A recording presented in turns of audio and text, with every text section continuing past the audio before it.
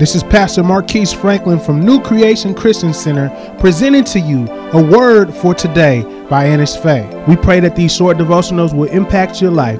Now let's tune in. First relationship you can have with a child and a father is for that child to always be afraid of you. I mean, and there's some of us that have had relationships where all we were, all we did was we were afraid of our father.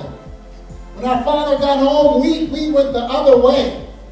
We didn't want anything to do with it. Why? Because this person brought fear in our heart.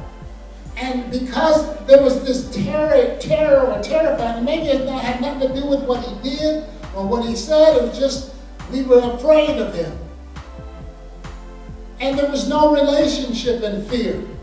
So he's not talking about being afraid of God because, and that's why I read James, it says, draw near to God and he will what? Draw near to you. So you can't draw near to somebody that you're afraid of. You're not going to draw near to somebody that brings fear in your heart. It's like, no. Even if you wanted to, you'd say, well, maybe I'll wait for a better day. Maybe I'll wait until he's in a better mood, and then I'll ask him. But God wants us to respect him, honor him, reverence him. And once we learn to honor and reverence and respect God, then we understand how God loves us. The world doesn't have a respect for God. That's why they say the things that they say about God. They say stuff like, well, you know, who wants to serve a God who always wants to judge you?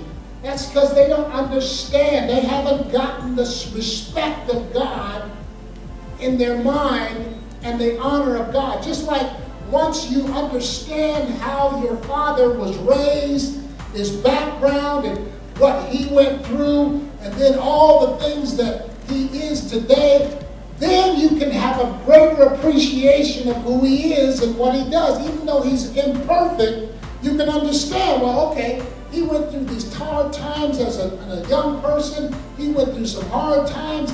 I can have compassion on him because now I understand him. Now, God doesn't need us to have compassion on him. But we need to understand that God loves us. God is not in the business of punishment. He's in the business of redemption. Amen? So this is the kind, the one, the one kind of fear.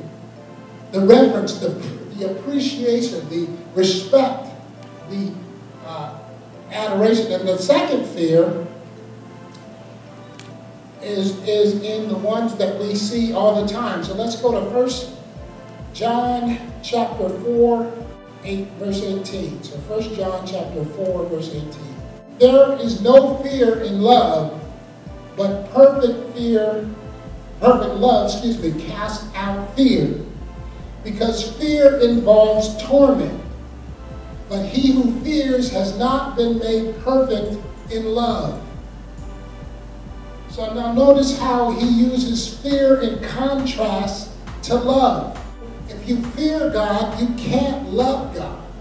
You're afraid of it. There's no, you can't, you can't perfect your love for him because there's always this fear of God. If you go back to the story of Moses, the children of Israel were afraid of God.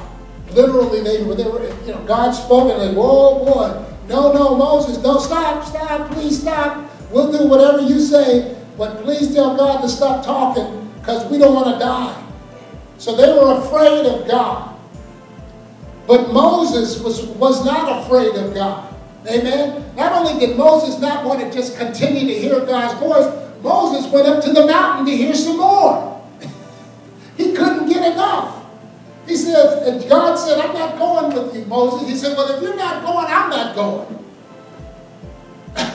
so Lord, if you don't go, I don't want to go. I don't want to be a part of anything that you're not a part of. Because Moses was, his love was perfected. He was not afraid of God because he got to know God. He got to spend time with God. Moses was so much in, in love with God, he said, God, can you just do me a favor? He says, What's that, Moses? Can I see your glory? Can I just see you? I mean, I hear you, uh, we talk all the time, but can I see you? I mean, that, that's not somebody that's afraid of anybody, right? I mean, that's somebody that wants to get more and more. He can't get enough. And God, even though God said, well, you can't see my face, but I'll show you my back. and he saw his back, and then Moses came down, and his face was shining, and the people didn't want to see his face. But that's how God wants us to be towards him. And he says here, if we fear, love can't be perfected. And the Bible says God is what? Love. So that says that if we're afraid of God, the love of God can't be perfected in us because we've got to get that fear. Fear and love don't go together. We pray that this message has encouraged you today. And we invite you to join us Saturday nights at 7 p.m.